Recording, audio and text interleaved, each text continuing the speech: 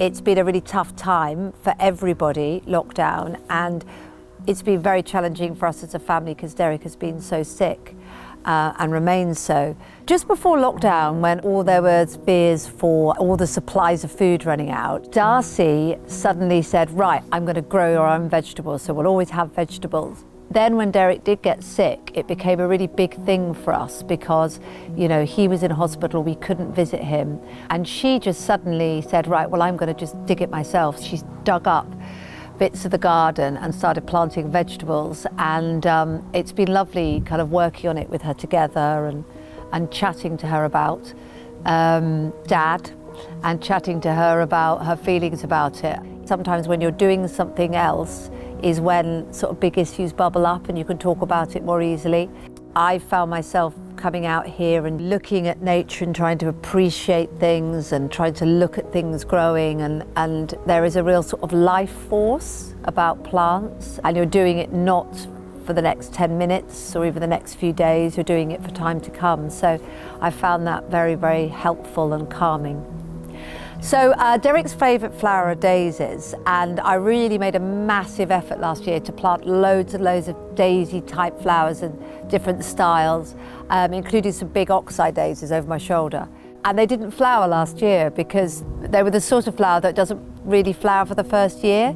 And they've come out brilliantly this year. So I keep saying to him when I FaceTime him, your daisies are flowering now. You've got to get better. You've got to get better since Derek's been ill and I've been very worried when I wake up. I tend to wake up quite early anyway because of working on breakfast TV for so long.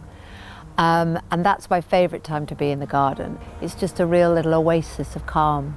When you're feeling fearful, as I think we all have been during this pandemic for all sorts of different reasons, taking time to sort of focus on the present and be grateful for things is really, really important. So yeah, and meditation um, is a great way of, of trying to allow thoughts to kind of bubble up and allow your body to sort of process them.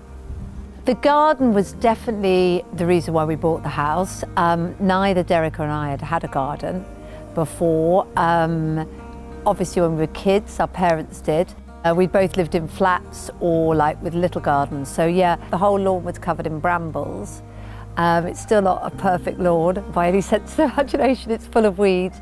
But we've just tried to clear space and, and also make it a place to play really. So I know that the garden designers would say you shouldn't have huge bits of lawn, you should have focuses in the centre and things like that. But actually, um, we just want space to kick a football around and, uh, you know, do a bit of gymnastics. Not me, I hasten to add the kids. I've always loved nature and plants. My dad was, is a massive gardener. I think at one point he had two allotments. He used to grow loads of vegetables. Gardening, I think, is quite a slow thing, which you appreciate more when you're older, whereas when you're a kid, you just want everything now and if the very latest by tomorrow. And I've loved it more and more. So I think probably for about the last 10 years is when I've been really passionate about it.